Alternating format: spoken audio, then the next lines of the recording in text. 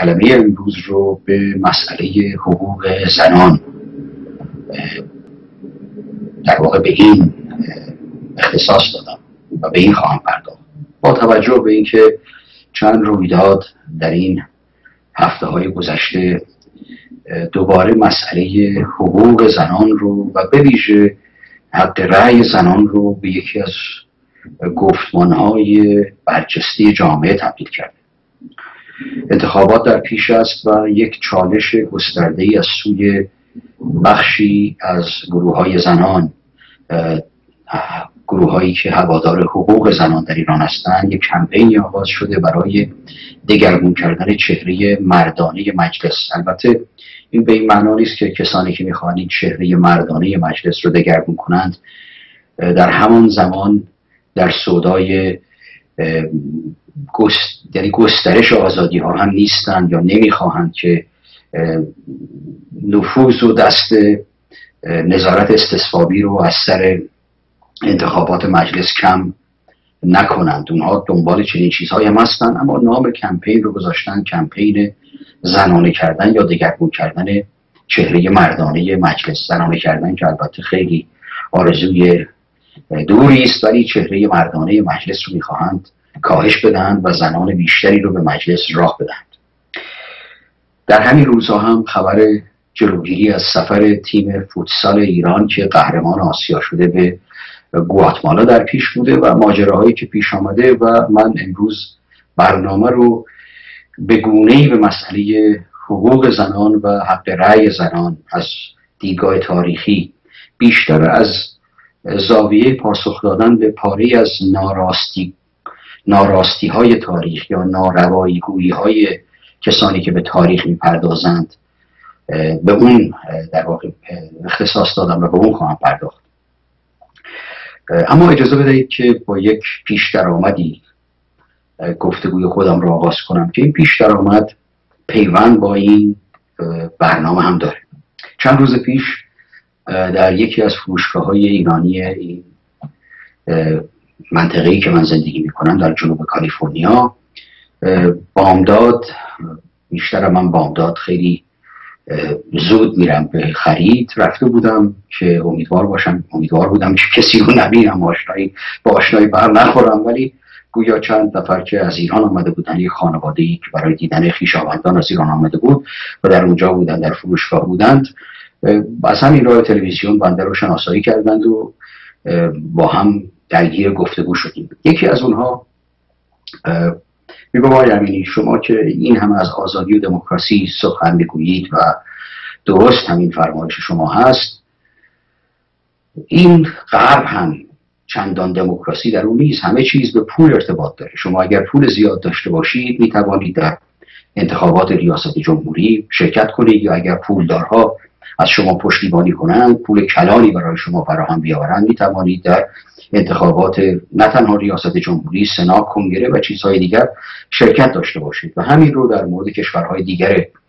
دموکراسی در جهان عنوان می‌کردن نکته نادرستی هم نیست. در غرب هم در غرب دموکراسی هم ما با گرفتاری های جلوگیری از گسترش دموکراسی از راه نفوذ بنیادهای بزرگ مالی و ثروتمندان روبرو هستیم.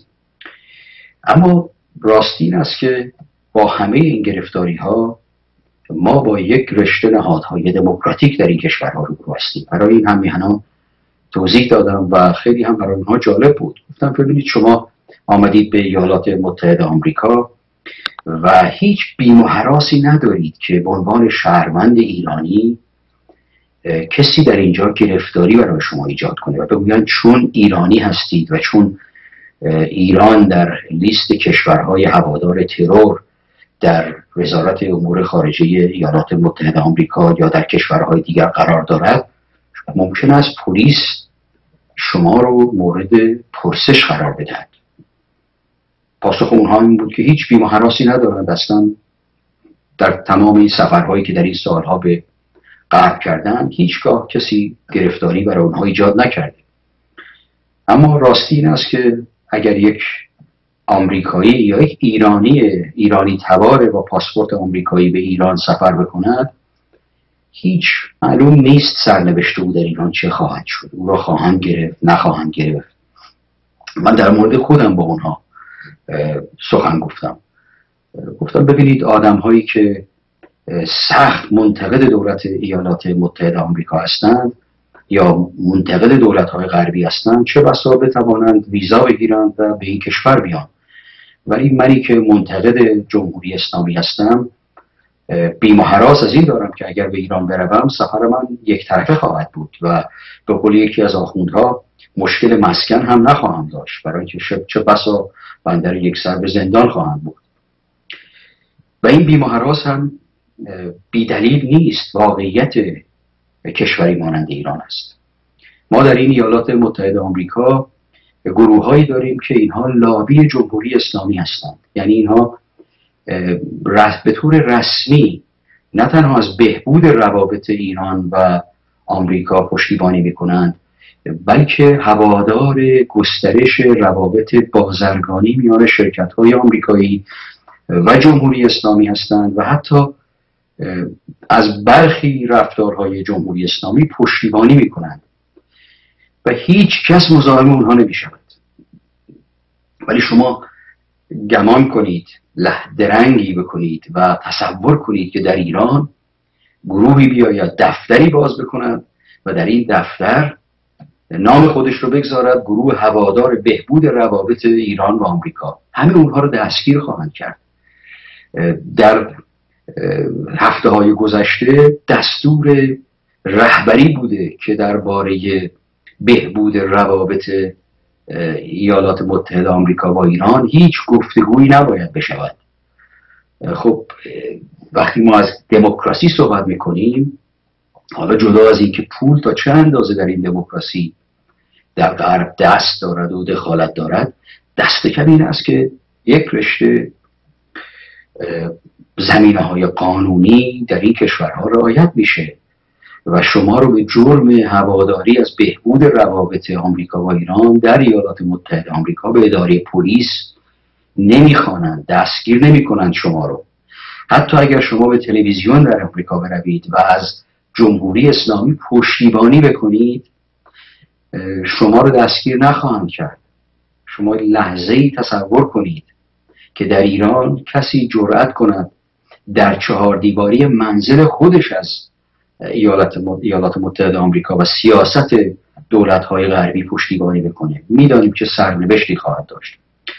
این هم میهنان در این گفتگوهایی که با هم داشتیم خب بانه شدند که موضوع دموکراسی تنها بر سر گرفتاری هایی که در این کشورهای غربی هم وجود داره نیست بلکه وجود نهادهای حقوقی و قانونی است که از حقوق شهروندان پشتیبانی می‌کنه و ما در ایران نه تنها در دوران جمهوری اسلامی در گذشته هم در دوران پیش از جمهوری اسلامی هم با چنین موازین و قواعدی روبرو نبودیم. قانون حکومت نمی کرده فراموش نکنید که و نباید بکنیم که در دوران رژیم گذشته ایران شما اگر در سینما برای سرود شاهنشاهی بلند نمی شدید پلیس مزاحم شما می شد یعنی در دولت شاهنشاهی مشروطه ایران برخواستن برای سرود شاهنشاهی پیش از برنامه سینما اجباری بود. و اگر شما تصمیم می گرفتید بلند نشید می توانستن مزاحم شما بشوم. اگر شما رو می دیدن که چنین کاری رو نکردید. و بنابراین گرفتاری فقدان دموکراسی فقدان قانون تنها محدود به وضعیت کنونی جامعه ایران نیست. ما در گذشته هم با همین جنبه های فوق العاده متجاوز به حقوق مردم روبرو بودیم. این پیش درآمد رو از این رو گفتم که در برخورد مسئله زنان و حقوق زنان و به طور کلی در برخورد به تاریخ ما با یک رشته گرفتاری های بسیار بنیادی در کشوری مانند ایران روبرو هستیم. امروز در این ایالات متحده آمریکا که من زندگی می کنم شما می توانید کتاب بنویسید و پژوهش کنید درباره برگ برگ و بخش های بسیار نهفته زندگی مثلا آقای اوباما. و این رو منتشر کنید و کسی از کسی جلوی شما رو نخواهد گرفت. همین چند روز پیش خلاصه کتابی منتشر شد. خاطرات آقای جورج بوش. جورج بوش پدر نه این جورج بوش دوم بلکه اون جورج بوش اولی که جنگ در جنگ نخست عراق شرکت داشت. خاطراتی منتشر شده که در این خاطرات او سخت پرخاش می‌کنه به برخی از پیرامونیان فرزندش در هنگامی که فرزندش رئیس جمهور بوده. و من ندیدم جایی کسی سخنی از این بگوید که جلوی این کتاب رو باید گرفت. چون افشاگری کرده از برخی سردمداران حکومت در آمریکا. در حالی که شما در ایران با این واقعیت روبرو هستید که در نوشتن تاریخ در صد سال گذشته دست کم گذشته دور که کاملا روشن است در صد سال گذشته دست کم یعنی از هنگام آغاز پادشاهی پهلوی و سپس در دوران جمهوری اسلامی تاریخ رو گزیده می نوشتن یعنی چیزهایی رو از تاریخ در برابر دیدگان مردم قرار می‌دادند و برجسته می کردند که به سود حکومت باشد. مثلا در مورد کشف هجاب یا کوشش زنان برای دستیابی به آزادی پوشش تاریخ از 17 دیماه 1314 آغاز می شود یعنی از اون روزی که رضا شاه در دانشسرای عالی در اون مراسم معروف موضوع کشف هجاب رو عنوان کرد و سپس بخشنامه دولتی صادر شد و ماجراهایی که دربارش می‌دانیم که چادر و روسری از سر زنان بر داشتند و مسئله اجباری شدن کشف هجاب مطرح شد در جامعه. تاریخ از اونجا آغاز میشه.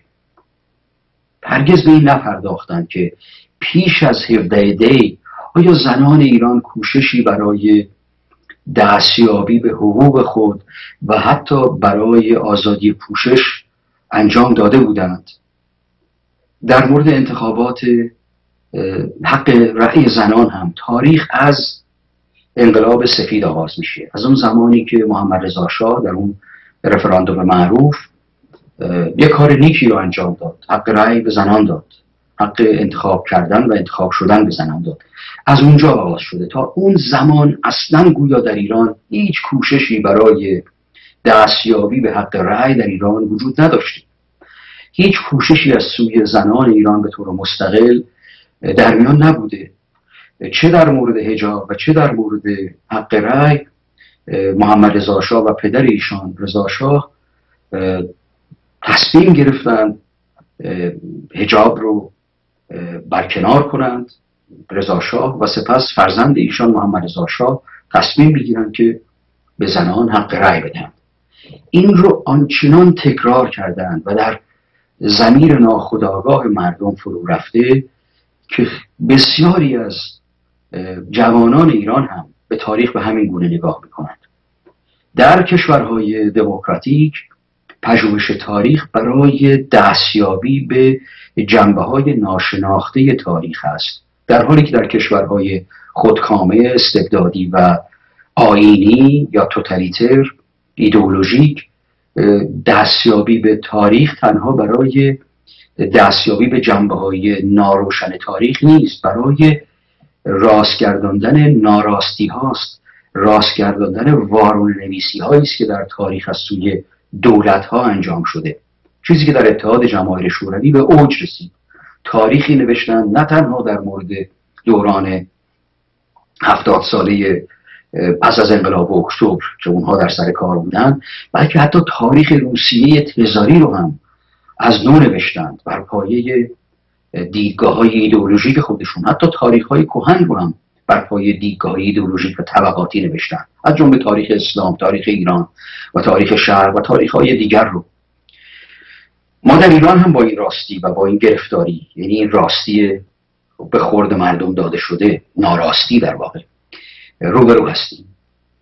که تاریخ رو از زمانی آغاز کردند و از زمانی آغاز می‌کنند که رویدادی به سود نویسندگان این گونه تاریخ ها در میان بوده.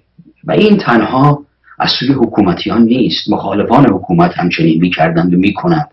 خیلی از اونهایی که امروز به حکومت نقد دارند به جمهوری اسلامی نقد دارند آغاز نقد اونها از اون هنگامی است که خود اونها بر جمهوری اسلامی شوریدند. سالهای پیش از اون که با خود همین حکومت همکاری می‌کردن رو اصلا به یاد نمی آورند و اونها رو کنار می‌گذارند. در مورد مسئله زنان ما دو مورد بسیار برجسته داریم. شاید بتوانم بگویم که سه مورد. سه مورد بسیار برجسته داریم که تاریخ رو وارونه نوشتند. نخست در مورد مسئله حقوق زنان در چارچوب خانواده. مسئله سن ازدواج زنان. حقوق زن در چارچوب روابطی که با همسر دارد. آزادی هایی که یک زن در چارچوب روابط با همسرش می‌تواند داشته باشد یا نبودن آزادی هایی که یک زن میدارد. همه اینها رو وارونه نوشتند. تاریخ آزادی زنان در حوزه حقوق خانوادگی از لایحه خانواده در دوران محمد رضا شاه آغاز شد. در حالی که ما می‌دانیم یکی از نخستین کوشش های زنان ایران در شاید پانزده سال پایانی دوره قاجار در همین زمینه بوده.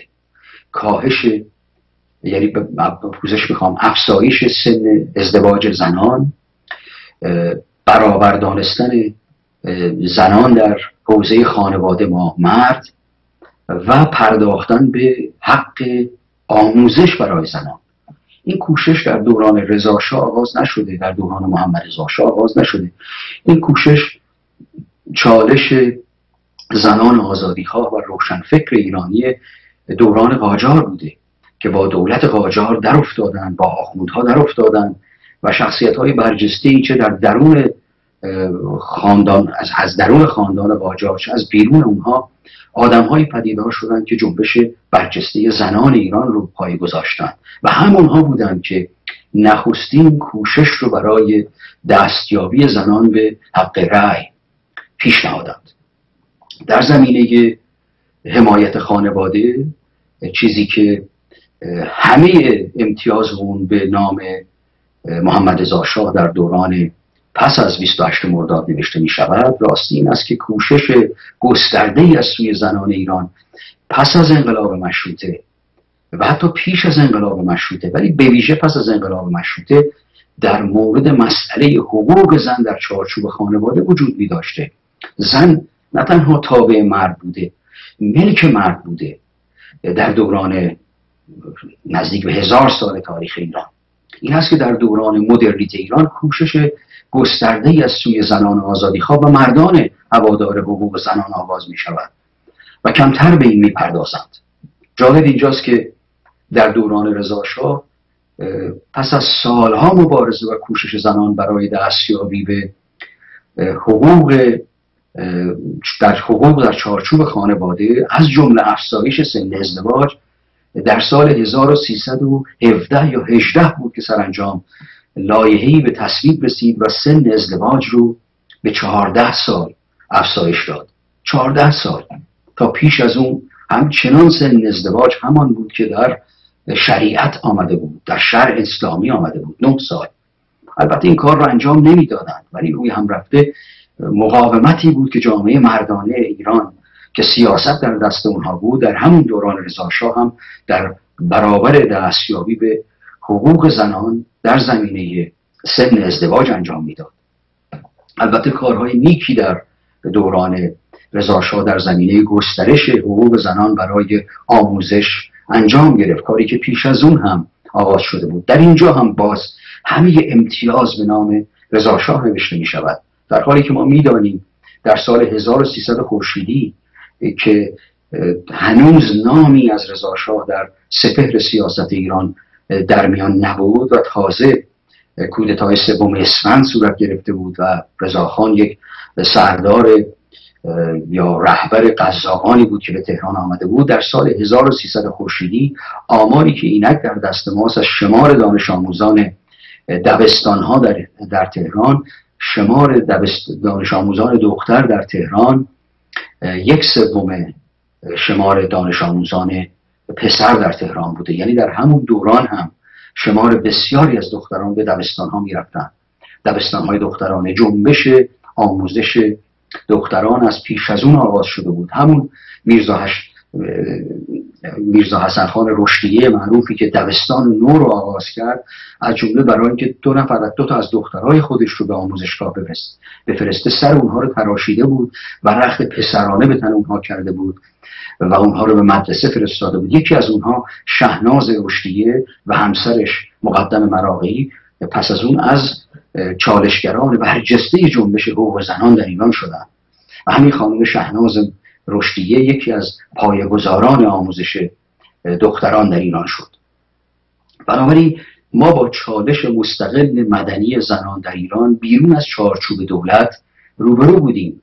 اما چون تاریخ رو بر پایه قدرت می در تاریخ ایران در گذشته ایران. همه امتیازها به پادشاهان به دولت ها داده می شود در دوران جمهوری اسلامی هم همین است. همه امتیازها به حکومت داده می شود این چالش مستقل مدنی جامعه ایران از جمله در میان زنان جایگاه چندان و قابل اشاره ای نداره. خب گرفتاری در این است که بسیاری از پژوهشگران تاریخ هم یا بازنویسان تاریخ هم برخی از این بارون نویسی های تاریخ رو پذیرفتند. جنبش دستیابی به حقوق زنان در چارچوب خانواده رو از دوران انقلاب سفید آغاز می کنند کوشش برای کشف هجاب رو به 17 دیماه 1314 پیوند می‌دهند. حق رأی زنان رو از زمانی آغاز می کنند که در جریان انقلاب سفید شاه فرمان پس از رفراندوم فرمان حق رأی زنان و حق انتخاب شدن به زنان داد که کار بسیار نیکی بود. من به هیچ روی از نیک بودن این کارها نمیکاهم اما فراموش می‌کنند که خیلی پیش از اون جنبش و چالشی در این راستا در این سه زمینه که اشاره کردم آغاز شده بود. به مسئله هجاب در جای دیگری حتما خواهم پرداخت. امیدوارم در برنامه برگی از تاریخ با آقای حسین مهری به بهانه 17 دی یکی دو برنامه رو به موضوع پیشینه چالش زنان ایران برای دستیابی به آزادی پوشش بپردازم و در این باره با, با شما هم میهنان گفتگویی داشته باشم. و اگر هم پرسش هایی در این زمینه از سوی شما پیش از این برنامه به من برسد بسیار سپاسگزار خواهم شد.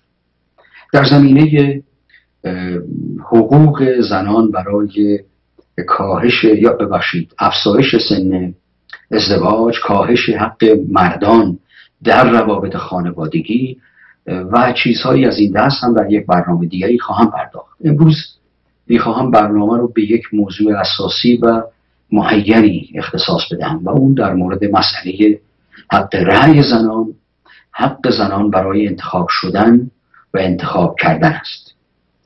برخلاف آنچه که عنوان می شود در قانون اساسی مشروطه و متمم قانون اساسی به طور روشن در مورد جلوگیری از حق رأی زنان سخنی در میان نیامده بود.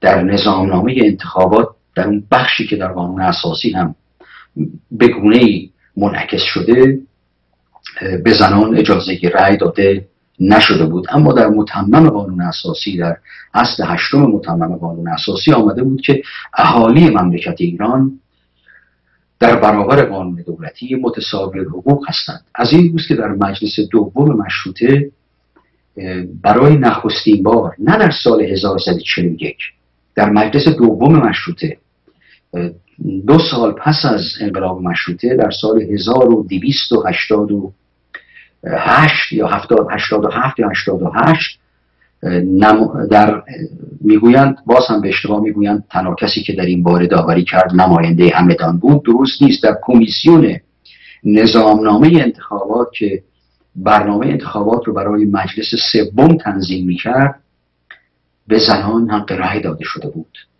و پرخاش شریعت مداران در مجلس در برابر این قانون به آسمان رفت و در اونجا بود که نماینده همدان هم آمد و اون جمله معروف رو گفت و از حقوق زنان پشتیبانی کرد. اما کمیسیون نظامنامه انتخابات در مجلس دوم یکی از نخستین مجلس های جهان بود که موضوع حق رأی زنان رو پذیرفته بود.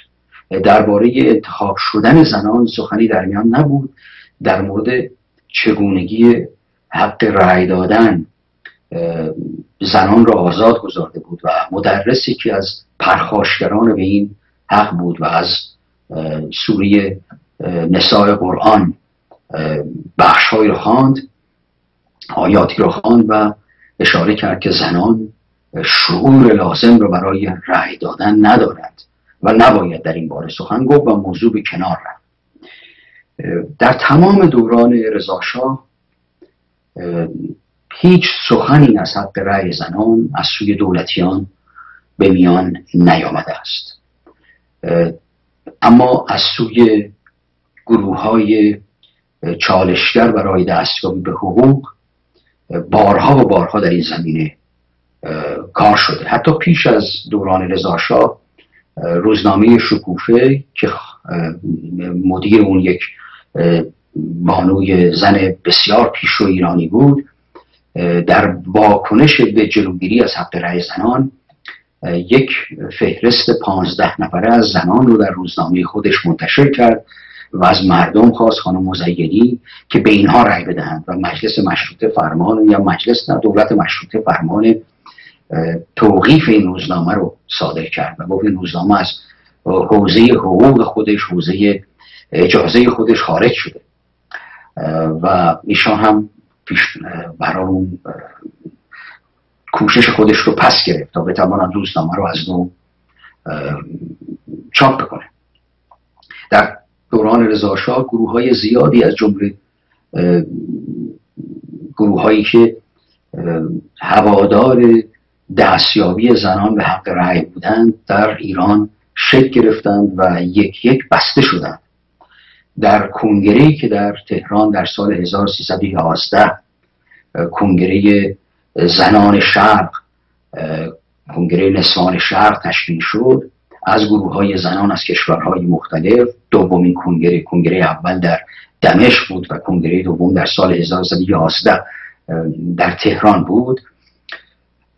دولت نه تنها جلوگیری کرد در برگزاری این کنگره و همکاری نمی‌کرد یک ماه پس از سرگردانی نمایندگان کشورهای مختلف و از یک جا به جای دیگر شدن سرانجام اونها توانستند در دبستانهای اون زمان و دبیرستانهای اون زمان برنامه های کنگره خودشون رو برگزار کنند و دولت اجازه این برگزاری رو داد به شرط آنکه آقای اورنگ نماینده مجلس به عنوان نماینده درباری که از محافظ کارترین نمایندگان مجلس در این کنگره شرکت بکند و به عنوان نماینده دولت از از اینکه سخنی درباره هجاب درباره طلاق درباره حقوق زنان درباره حق رأی زنان گفته بشود از اونها جلوگیری بکنه و هر بار که زنی از نمایندگان در این زمینه ها سخنی به میان آورد آقای اورنگ بدون اجازه به بالای به پشت تریبون میره و سخن میگو و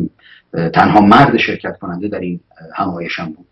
این است که هیچ نشانی در این دوران ما از کوشش دولتی برای دادن حقوق انتخاباتی و رأی به زنان نمی‌بینیم و بسیاری از داستانهایی که ساخته شده در سالهای پس از اون داستانهای ساختگی است. یعنی داستانهایی است که با تاریخ نمی‌خوانند. اجازه بدهید که تنفسی داشته باشیم. خب همیانان گرامی به رشته گسسته سخن باز بگردیم شاید تا اینجا آنچه که با شما در میان نهادم اندکی پراکنده به نمایاند و شاید این گونه برداشت کنید که من نکاتی رو از هر گوشه با شما در میان گذاشتم و نخی در میان این نکته ها نیست. گوهر سخن من در این زمینه در این زمینه حقوق زنان برای انتخاب کردن و انتخاب شدن در این است که چون ما با یک تاریخ خودکامگی در ایران روبرو هستیم به ما گفتند و چنین برداشت دادند که آغاز حق رأی زنان در ایران یا آغاز چالش برای دادن حق رأی زنان در ایران از دهه 1340 به دوران پادشاهی محمد رضا شاه پهلوی باز می‌کردند. و من می‌خواستم نشان بدم که چنین نیست. از همان زمانی که انتخابات مجلس اول مشروطه در گرفت واکنش گسترده ای از سوی زنان ایران برای دریافت حق رأی و شرکت در مجلس شورای ملی وجود می داشت و افسون بر این در تمام دوران 16 ساله پادشاهی رضاشاه ما نشانی از این که دولتیان گامی برای دادن حق رأی یا حق انتخاب شدن به زنان برداشته باشند نمی‌بینیم. البته این بگویم. این انتقاد من به رضاشاه نیست. این واقعیت جامعه ایران است که در اون هنگام اگر هم چنین گامی برداشته می‌شد چه بسا واکنش گسترده نه تنها روحانیان بلکه مردان ایرانی رو به دنبال می داشت من باور ندارم که نخست وزیر رضاشاه مهدی قلی هدایت می توانست از حق رأی زنان پشتیبانی بکنه. اصلا بسیاری از مردهای ایرانی در اون دوران و دوران پس از اون با این نکته که زنان دارای حق رأی بشوند به مجلس بروند در زندگی اجتماعی شرکت بکنند سر سازگاری نداشتند. بنابراین همه گرفتاری در این نیست که حکومت چنین کاری رو نکرد.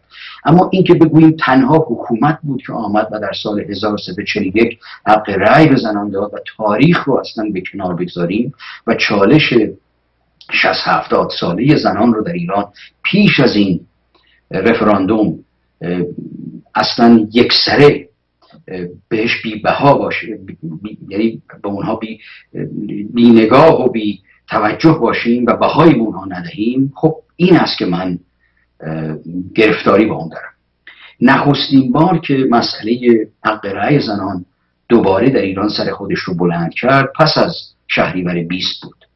در مجلس چهاردهم فریدون کشاورز یکی از اعضای بلند پایه و از اعضای کمیته مرکزی از توده که بعدها در کابینه قوام السلطنه یکی از سه وزیر تودهی در کابینه شد و سپس هم از حزب توده جدا شد و اون کتاب معروف رو من متهم می‌کنم رو نوشت.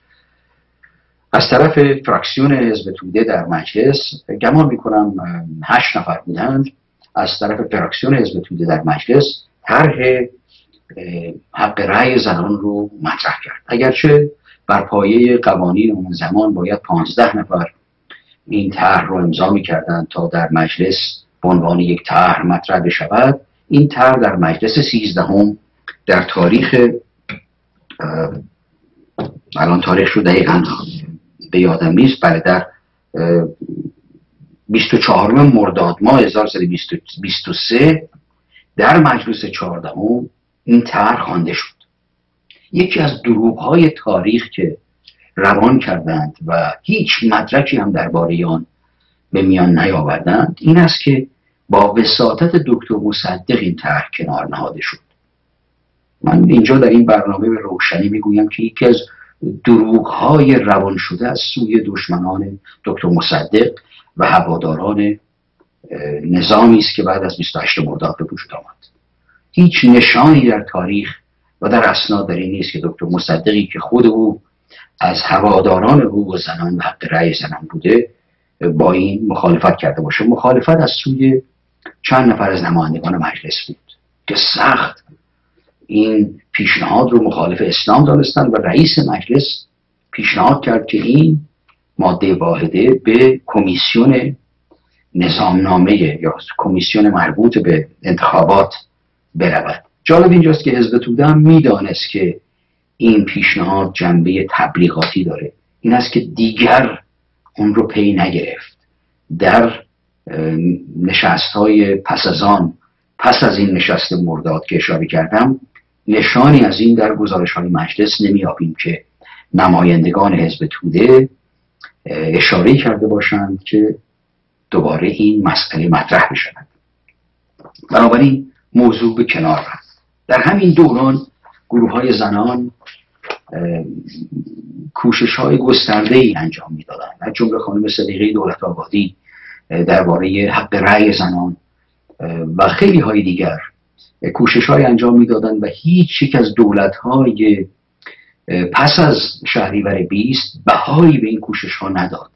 و هیچ نشانی جز این پیشنهادی که در مجلس چهاردهم از سوی حزب توده مطرح شد و به کنار نهاده شد در مورد حق رأی زنان یا حق انتخاب شدن زنان در هیچ یک از اسناد مجلس نمی‌بینیم.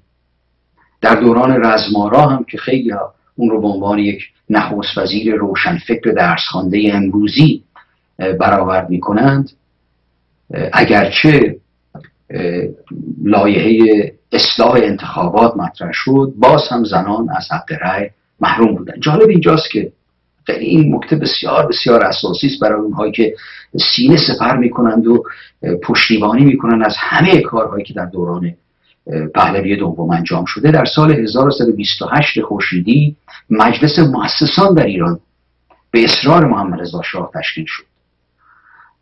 مجلس مؤسسان قانون لا... یعنی در واقع اصل انتخابات مجلس سنا رو و همچنین حق پادشاه رو در انحلال هر دو مجلس تصویب کرد یعنی اصلاح کرد افزود. و جالب اینجاست که در اصل انتخابات مجلس سنا باز هم زنان از حق رأی محروم بودند. در سال 1328 در انتخابات مجلس سنا همچنان مجلس شورای ملی نه تنها زنان از حق رأی محروم بودند بلکه زنان در کنار محجوران دیوانگان و شکستگان به تقصیر و آدم هایی که آدم کشان زندانیان در کنار اونها قرار می گرفتن حق انتخاب کردن و انتخاب شدن نمی داشتن به طور رسمی. نخستین بار که موضوع حق رأی زنان بار دیگر به سپهر سیاست ایران راه یافت در 1341 نبود. بلکه در 1331 بود. ده سال پیش از انقلاب سفید. نخستین کسی در تاریخ ایران از شمار دولتیان از شمار کسانی که دارای مقام دولتی و قدرت اجرایی بودند که موضوع حق رأی زنان رو مطرح کرد زنده یاد محمد مصدق است که اینهایی که سینه بر سینه میکوبند و از حق رأی زنان امروز دفاع می‌کنند و یا ظاهرا دفاع می‌کنند این موضوع رو فراموش کردند که نخستین بار که مسئله حق رأی زنان در ایران عنوان شد در مجلس پیش از اون مطرح شده بود.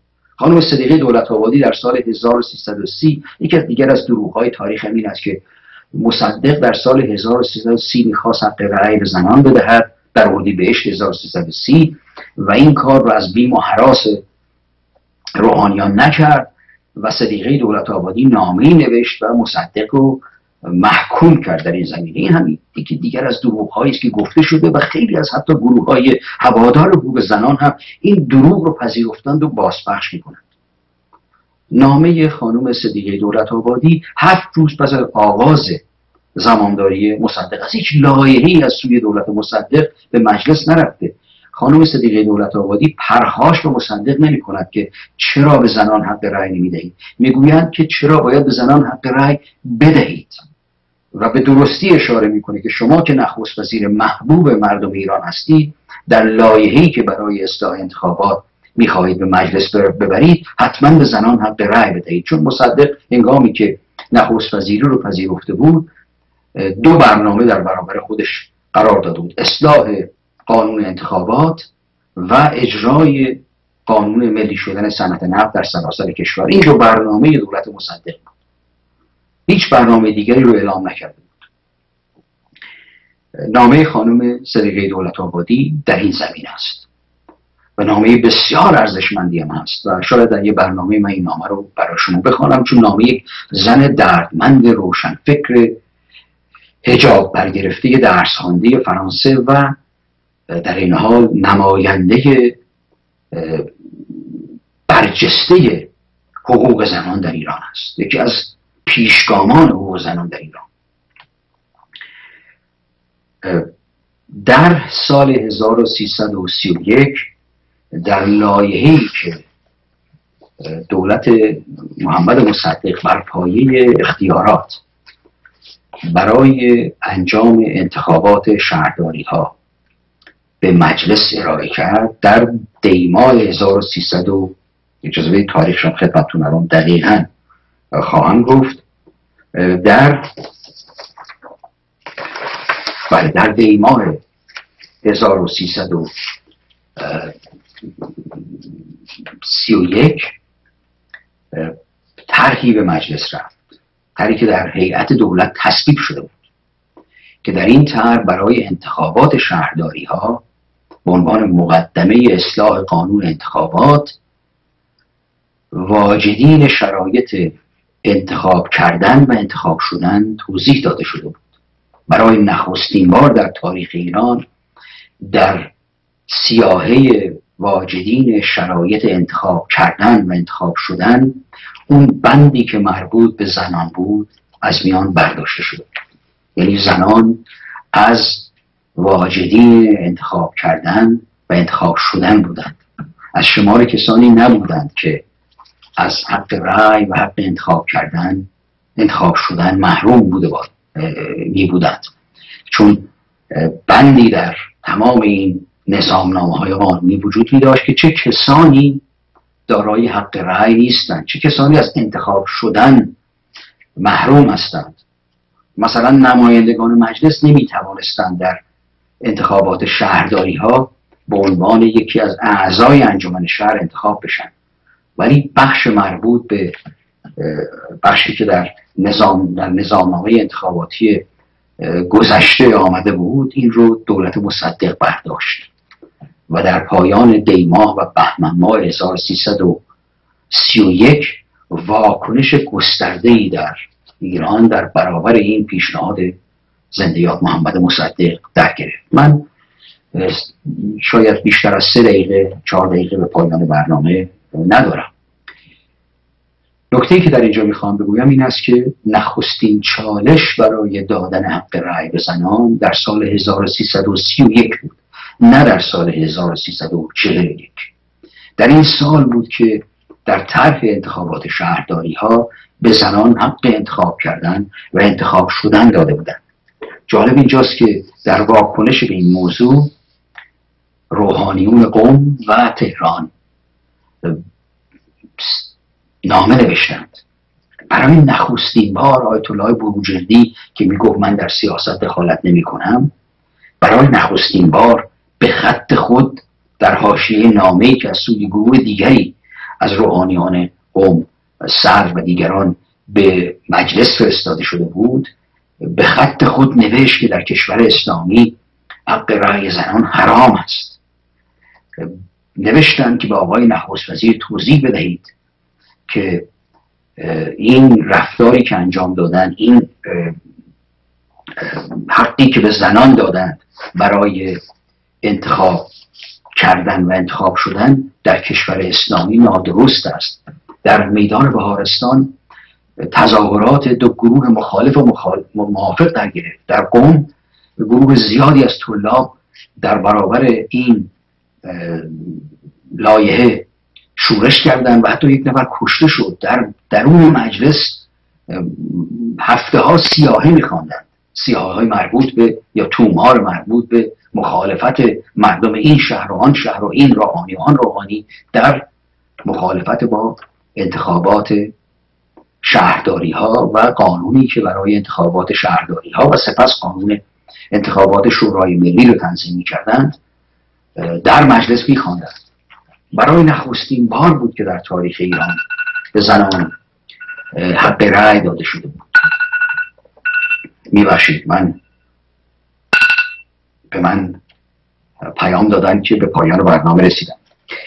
اینها بخشی از جنبه های فاش نشده تاریخ است که چون گفته نشده و مخالف اون نوشته شده می‌بینم که در نوشتارهای تاریخی پذیرفته شده برخی از گروه ها می‌گویند که بله، آقای دکتر مصدق هم با حق رأی زنان مخالفت کردند.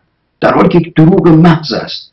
اول نخست وزیری در تاریخ مشروطه ایران که برای حق رأی زنان کوشش کرد دکتر محمد مصدق بود. به پایان برنامه رسیدیم. نمی‌توانم ادامه بدهم. گفتگوی یا سخنی رو که آغاز کردم. امیدوارم هفته آینده این برنامه رو با شما دنبال کنم. تا هفته آینده روز روزگار بر شما